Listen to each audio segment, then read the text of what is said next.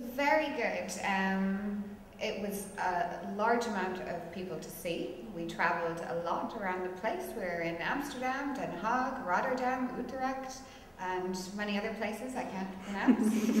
uh, and it was very nice. We went to people's homes and studios. Uh, it was very intimate, having a cup of tea, and very Yeah, no, it was- personal. It's just really nice to be able to talk to people in the industry that you wouldn't normally be able to talk to. I want to say something about uh, Give Me Your Image because um, that this is how um, a lot a lot of people um, I, I get in the stories uh, also before when you were here um, that people have a certain project but they don't know exactly what it is about, where they are going. And with Give Me Your Image, I had several um, um, assignments and one was from Switzerland, from Zurich, from the um, Ministry of Foreign Affairs, um, with uh, 10 other international photographers about um, globalization. I want to go into the houses of the migrant people and, and, and tell their stories. So what I did was um, asking for their um, um, photographs uh, that they mainly had in, in, in paper boxes and so and um, that were the photographs they had taken from their homeland, from their family, and um, they, uh, then I put these photographs in the surrounding of the house in, in Paris, so in the surroundings where they lived then. And I called this project Paradise in Boxes, and this was published in, uh, in this book.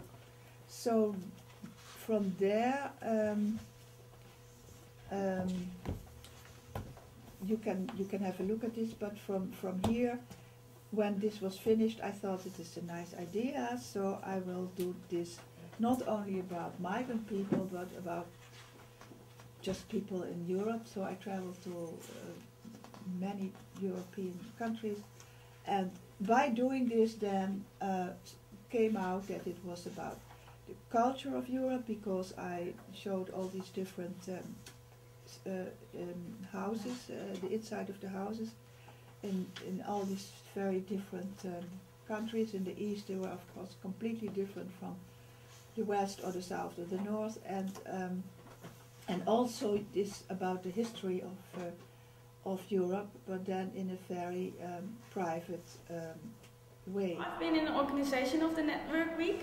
Um, it's always really interesting because um, at first you think like, oh, they're so big photographers, they're so famous or you know well known about their work, but actually you forget that they're just human beings, and then you can just pick up the phone and call them and ask if they wanna um, join the Network Week, and then a group of students can visit him or her, and they can talk about work, photography, anything. project which was published in 1996. Uh, this Snelweg or Highways in the Netherlands uh, project, uh, which I did together with my friend uh, Cary Markerink.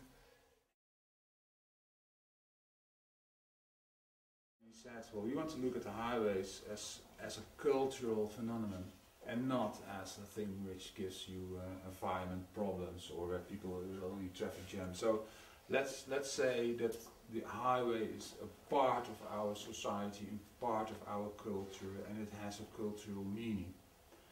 Uh, and that was a new approach for them, and also the way how we um, looked at it, looked at it was was was new. Uh, uh, it was new, anyhow, for the Dutch. This book was, uh, when it was published, we had an amazing amount of media attention. And it's still a sought after book, uh, especially since it was included in Martin Parr Yeah. and Gerry Badger's uh, photo book. We, we presented it, the book with uh, not only an exhibition, but we also organized a symposium on the subject itself. And it's also, you're talking about context, how you present your work. Most of the time, I'm really uh, trying to, to address especially the content of the project. Well, yesterday I've been to uh, two different talks. The first one was really great. It was um, Freit and Stig, so I'm pretty sure I'm not pronouncing that right, but Dutch names are really hard. Um, two photographers, two uh, women photographers, both graduated from the Academy of The Hague a few years back, um, in 1995, both of them. and uh, they've been doing some very different but lovely work. And we had a really nice talk around the table where they showed their pictures, their work in progress. And I went to photograph the Bosnian refugees themselves in uh, different refugee camp- camps.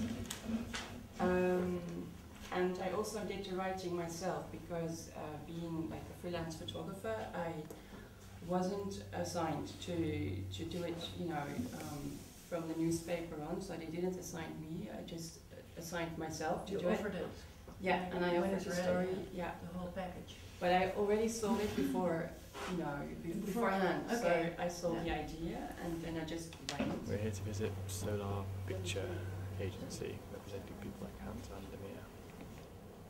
Six years ago, I started together with Marga Rotteveel um, to be the coordinators of the new uh, direction in photography, or the two directions, which was not really new, but uh, some kind of a um, new implementation of a new curriculum uh, with uh, editorial photography and Wervend. What's Wervend in English?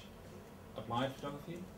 Uh, students of Newport joined us in uh, this network week for the first time, and I think uh, I, I sincerely hope that they uh, liked it and that they uh, benefit uh, from the situation because I think it's um, an easy way to organize a student exchange and to get them to know Dutch photography and the Dutch network and get in touch with Dutch students.